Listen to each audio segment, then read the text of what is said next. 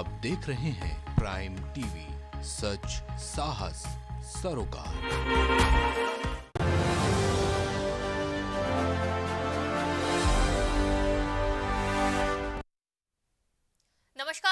TV में आपका स्वागत है। मैं हूँ आपके साथ शिखा मेहरोत्रा शुरुआत करते हैं उत्तर प्रदेश खबरों की।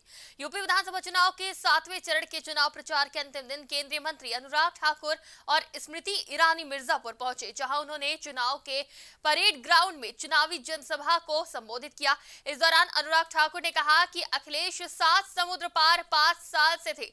आपदा के समय भी वो भय और भ्रम फैला रहे थे। दस मार्च के बाद वो यही कहेंगे कि वही हवा है, वही सपा है। जनता अब इसके, इससे खफा है, करना इनको दफ़ा है। ईवीएम बहुत बेबफा है। तो ये लाइनें बोली है अनुराग ठाकुर ने जब चुनाव में जनसभा को संबोधित करने का।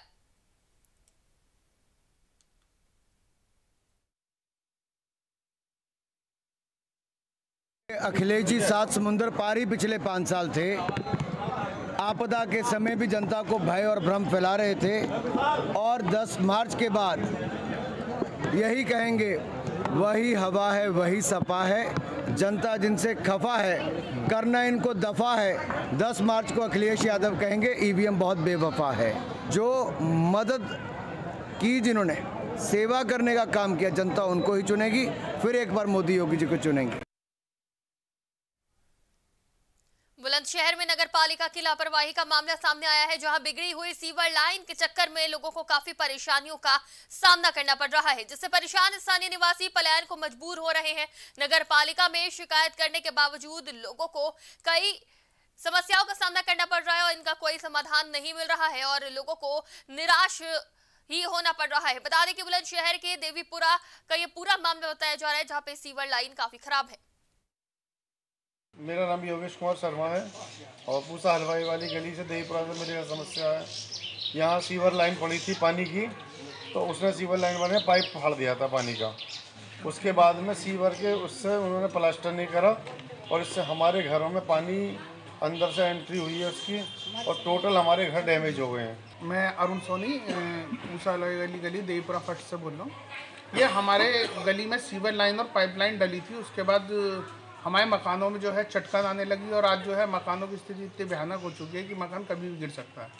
हम लोग जो है यहाँ से पलायन करने की स्थिति में आ चुके हैं मकानों को छोड़ के और सारे जीवन की जो धरोहर जो हम, हमने मकान बनाया था, आज जो है हमें मौत का रूप दिखने लगा है। रूस यूक्रेन युद्ध के बीच फंसे देवरिया के छात्रों के वापस आने पर सदर सांसद, भाजपा जिला अध्यक्ष ने भाजपा पदाधिकारियों के साथ छात्रों के घर पहुंचकर उनसे मुलाकात की। वहीं सदर सांसद डॉक्टर रमापति राम त्रिपाठी ने भाजपा पदाधिकारियों के साथ यूक्रेन में एमबीबीएस द्वितीय और द्वितीय की छात्रा अनुष्का सिंह के घर पहुंचकर छात्रा का हाल जाना और हर प्रकार के सहयोग का भरोसा भी दिया। सांसद ने कहा कि उनके भविष्य का मोदी सरकार ख्याल रखेगी। इस दौरान छात्रा ने प्रधानमंत्री और केंद्र सरकार को धन्यवाद दिया।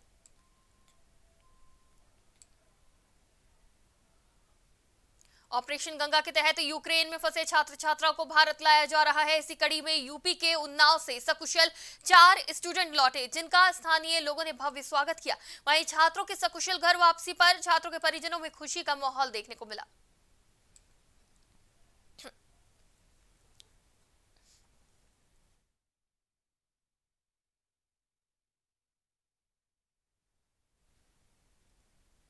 यूक्रेन में उत्पन्न आपातकालीन परिस्थितियों के दृष्टिगत जनपद के फंसे हुए पंद्रह छात्रों में से अब तक नौ छात्र अपने घर पहुँच चुके हैं, जिसमें अकबरपुरा, नई बस्ती निवासी मोहम्मद आमिर, वहीद तहसील केसरगंज के ग्राम हुजूरपुर निवासी रविंद्र कुमार शुक्ला समेत कई छात्र सकुशल अपने अपने घर पहुँच गए हैं।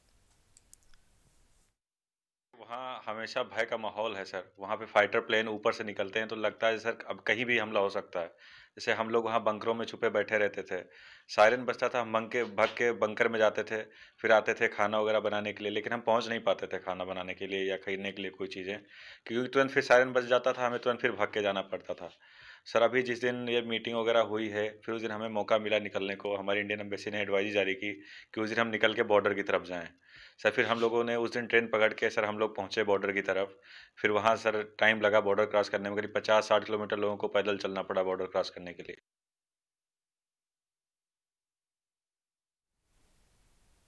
प्रतापगढ़ के लालगंज पुलिस ने एक अभियुक्त को गिरफ़्तार कर जेल भेज दिया है। गिरफ़्तार किए गए अभियुक्त के पास से रिवॉल्वर और कारतूस के साथ ई रिक्शा बरामद किया गया है। वहीं लालगंज में सीओ लालगंज ने प्रेस कॉन्फ्रेंस कर मामले का खुलासा किया है। मुखबिर की सूचना के बाद एक टीम गठित की गई। वहीं लीलापुर चौकी क्षेत्र के अभियुक्त की गिरफ्तारी की गई है।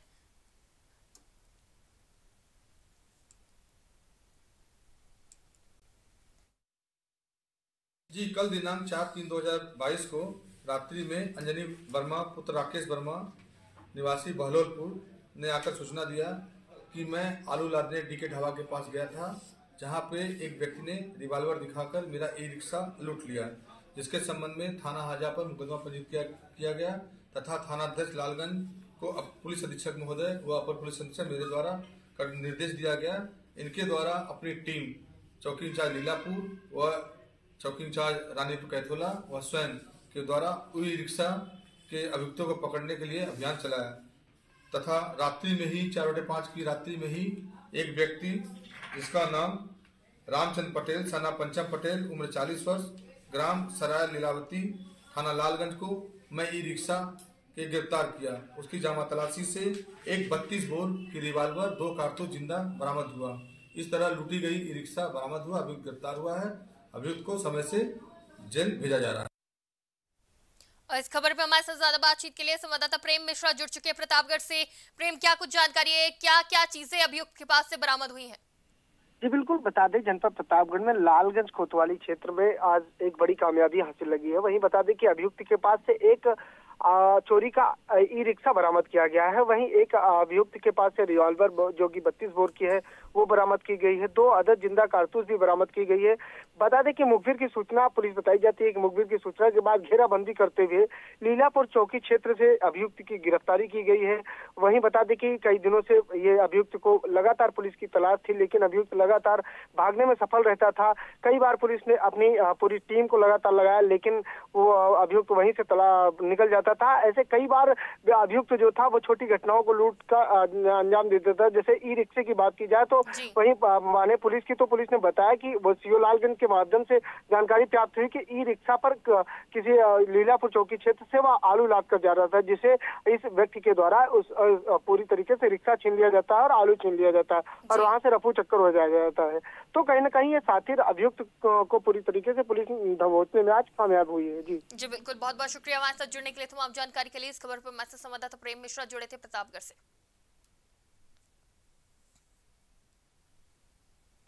खबर अलीगढ़ से है जो महिला का पंखे पर लटका हुआ शव मिला। मायके पक्ष के लोगों ने ससुराल पक्ष पर हत्या का आरोप लगाया है। मौत के बाद दोनों पक्षों ने जमकर हंगामा किया। तीन वर्ष पहले महिला की शादी हुई थी। पुलिस ने शव को कब्जे में लेकर पोस्टमार्टम के लिए भेज दिया है। वहीं पुलिस मामले की जाँच में जुटी है।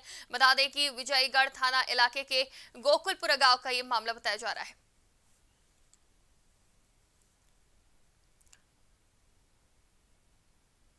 तो अलीगढ़ से ये खबर सामने आई है, जहाँ पे महिला का शव लटका हुआ पंखे से मिला, जिसके बाद परिजनों ने ससुराल पक्ष पर हत्या का आरोप लगाया है। बता दें कि मौत के बाद दोनों पक्षों ने जमकर हंगामा किया। तीन वर्ष पहले ही महिला की शादी हुई थी। पुलिस ने शव को कब्जे में लेकर पोस्टमार्टम के लिए भेज दिया है। पुलिस मामले की जाँच में जुट गई है।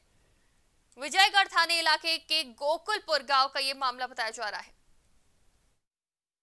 हम बातचीत कर रहे थे इन लोगों ने हमारे साथ बदतमीजी करी अच्छा। हमारी भांजी के सुबह। सुबह फांसी लगा के हत्या कर दी इन लोगों ने।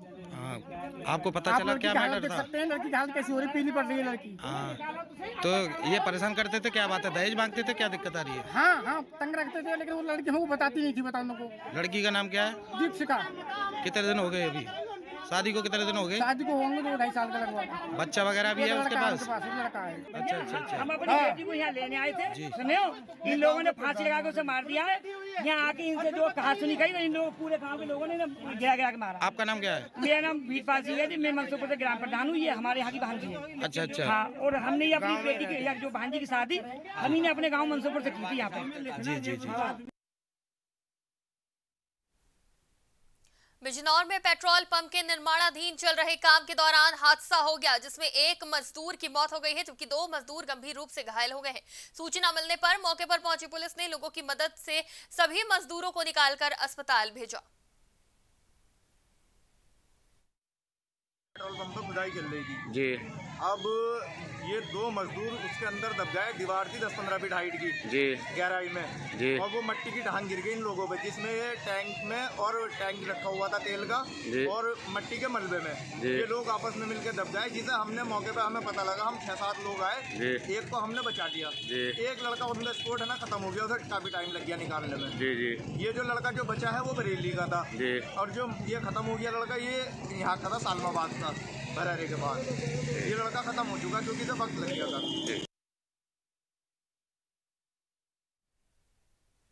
उत्तर प्रदेश की खबरों में फ़िलहाल इतना ही। तमाम खबरों के लिए देखते रहिए प्राइम टीवी